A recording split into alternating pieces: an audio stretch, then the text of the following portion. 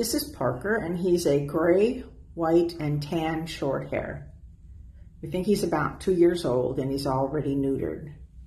He was rescued by a park ranger. Now he's looking forward to being adopted into a forever home. Parker weighs about 11 pounds and is already neutered. He loves being pampered and enjoyed getting combed. Very sweet kitty. Can't wait to find his forever home. This is Parker. He hopes to be adopted very soon.